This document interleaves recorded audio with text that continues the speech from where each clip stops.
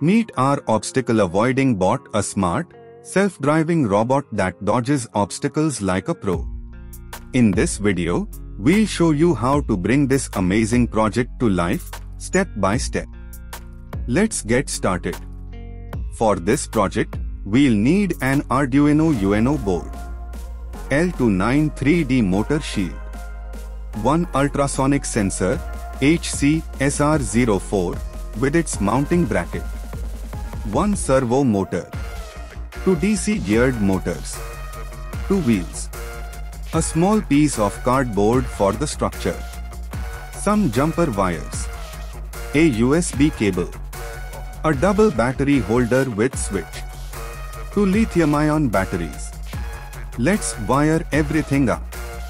Mount the L293D motor shield onto the Arduino UNO. First, we'll connect the ultrasonic sensor to the Arduino. This sensor helps the robot detect obstacles. Connect the VCC pin of the sensor to the 5V pin on the motor shield. Connect the GND pin of the sensor to the GND pin on the motor shield. Next, connect the trig pin of the sensor to A1 on the motor shield and the echo pin to A2. Next, let's wire the servo motor. This allows the ultrasonic sensor to rotate and scan the surroundings. Connect the pins of the servo to servo 1 terminals on the motor shield as shown. Now, let's wire the two DC geared motors that drive the wheels.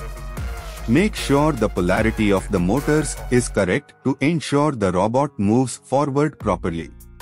Connect the first motor to M1 terminals on the motor shield. Connect the second motor to M2 terminals on the motor shield. Finally, let's connect the power source.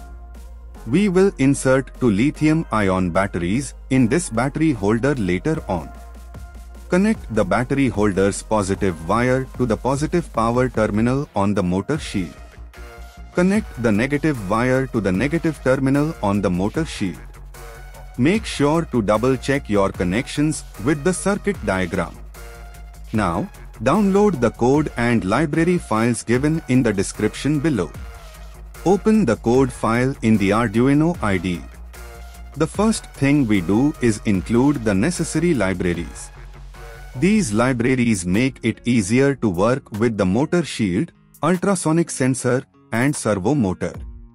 The afmotor.h library is for the motor shield, Newping.h simplifies ultrasonic distance measurement and servo.h controls the rotation of the servo motor. Next, we define the pins and constants for our components.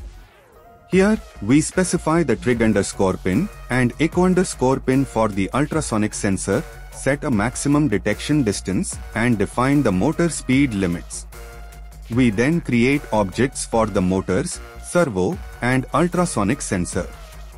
Here, sonar handles distance measurement, motor 1 and motor 2 control the left and right motors, and MyServo operates the servo motor.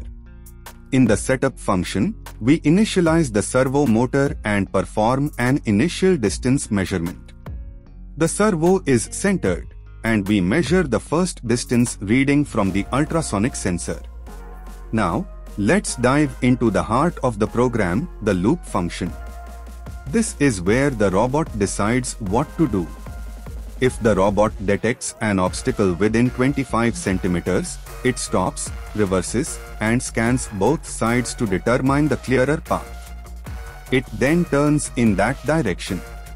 If the path is clear, it continues moving forward. The read ping function measures the distance using the ultrasonic sensor. These functions control the robot's movement.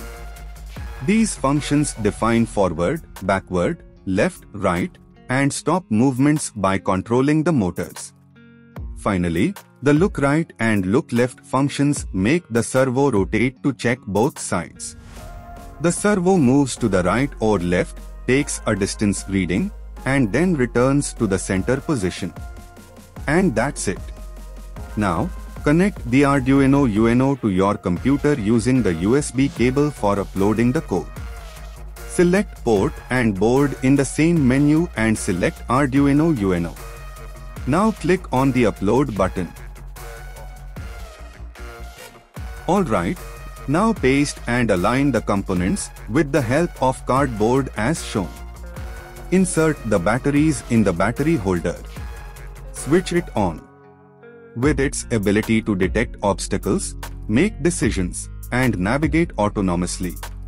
I hope you found this tutorial helpful. Thanks for watching our tutorial.